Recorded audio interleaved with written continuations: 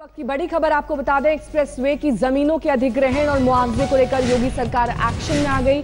मुख्यमंत्री ने 10 जिलों के जिलाधिकारियों को चिट्ठी लिखकर आगरा, लखनऊ एक्सप्रेसवे की जमीनों और मुआवजों की जाँच के आदेश दिए हैं। पिछले 18 महीने में हुई ज़मीन खरीद के हर मामले की रिपोर्ट उन्होंने मांगी है। जिलाधिकारियों के जाँच दायरे में एक्सप्रेसवे के किनारे करीब 230 गाँव आएँगे। आरोप ये भी है कि कुछ खास लोगों को फ़ायदा पहुँचाने के लिए उनकी कृषि वाली ज़मीन को रिहायशी ज़मीन की श्रेणी में दिखाया गया, ताकि उन्हें सरकार से ज़्यादा मुआवजा मिल सके। तो अब जाँच के आदेश योगी सरकार ने दे दिए हैं।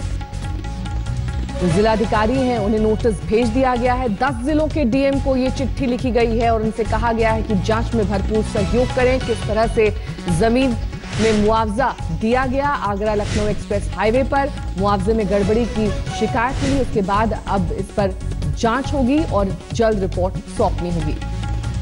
कृषि की ज़मीन को रिहायशी दिखाने का आरोप लगा है ताकि ज़्यादा मुआवजा मिल सके और अब इसी की जाँच की जाएगी कि आखिरकार ऐसा कैसे किया गया। आगरा लखनऊ एक्सप्रेसवे की ज़मीन की जाँच, और ज़्यादा जानकारी के साथ कुमार अभिषेक हमारे संवाददाता इस वक्त हमारे साथ जुड़ गए हैं। कुमार, पहले तो जो बिल्डर्स थे इनके प्रोजेक्ट्स रद्द किए गए, क्योंकि आवंटन में गड़बड़ी की गई थी। अब ये मुआवजे की बात भी सामने आ रही है, इस पर जाँच के आदेश दिए गए।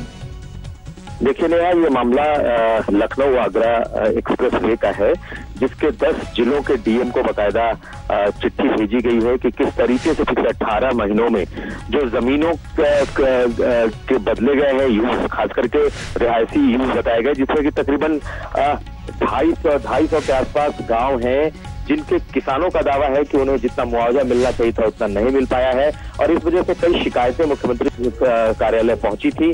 और उसके बाद तकरीबन 10 डीएम को, जो कि उस एक्सप्रेसवे के आसपास जो बगल के ज़िले हैं, वहाँ के डीएम को लेटर लिखा गया है और उसके बाद उस जाँच को शुरू किया गया है कि क्या सचमुच किसानों को जितना मुआवजा मिलना चाहिए था, क्या वो मिला या नहीं, या किन की जमीनें थी और किन लोगों ने इसे खरीद करके बेचा है। तो ऐसी स्थिति में एक जाँच की तरफ़ ये बढ़ रहा है एक्सप्रेस वे और कहीं ना कहीं सरकार को लगता है कि इसमें कुछ खामियाँ हैं, बड़ी चूक हुई है या कुछ इसमें सोची समझी चीज़ें हुई हैं, इसके बाद इसकी जाँच कराई जा रही है।